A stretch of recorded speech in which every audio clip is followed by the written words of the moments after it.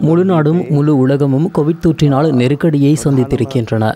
சிங்களம் தமிழ் முஸ்லிம் என பேதமின்றி தற்போது பட்டினியை எதிர்கொள்கின்ற தருணம். தொழில் ஜீவனோபாயத்தை நடத்தி செல்ல முடியாத அளவுக்கு நெருக்கடியை சந்தித்திருக்கின்றோம். கலாசார மத ரீதியிலான நம்பிக்கை மிகுந்த நாடாகிய எமது நாட்டில் தற்போது பௌத்த மக்களாக எமது விடயங்களை சரிவர செய்வதோடு இதர மத அபியாசங்களையும் செய்வது உசிதமாகும். நாடு என்கின்ற ரீதியில் தொற்று முழுமையாக நீங்கி நாட்டின் கல்வி விவசாயம் மற்றும் ஏனைய செயற்பாடுகளை மீள தொடங்குவதற்கு இயற்கையின் ஆசீர்வாதம் எமக்கு அவசியமாகும்.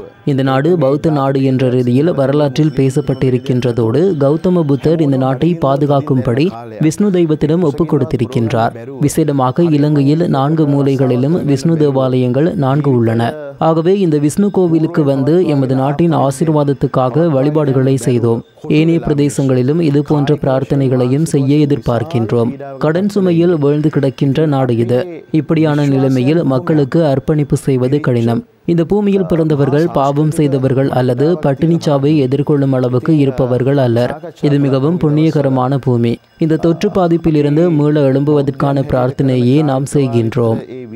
மீரா சில பஞ்சகர்மா ஆயுர்வேத முறைப்படி ஆயுர்வேதிக் ட்ரீட்மெண்ட்ஸ் அபியங்கா ஸ்ரோதரா போன்ற சிகிச்சைகள் முறைப்படி தேர்ந்தவர்களால் வழங்கப்படுகிறது. உங்கள் மருத்துவ காப்புறுதி கிரங்கன் காசா ஊடாக கட்டணம் செலுத்தலாம். பத்து ஆண்டுகளுக்கு மேல் அனுபவம். கா doctor Meera for free consultation Meera Ayurveda Zurich மற்றும் லேண்ட் வார் சுவிட்சர்லாந்து